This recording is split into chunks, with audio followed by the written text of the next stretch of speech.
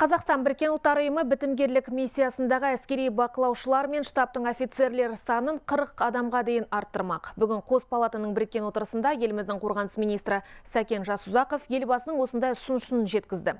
Депутаттардан қолдау тапқан бастама нәтижесінде бітімгерлік ротаны үнді континенті құрамындағы Ливандағы біріккен ұлттар ұйымының уақытша күштері миссиясына жолдау жөнінде шешім қабылданды. Ондағы мақсат Ливан халқына көмектесу.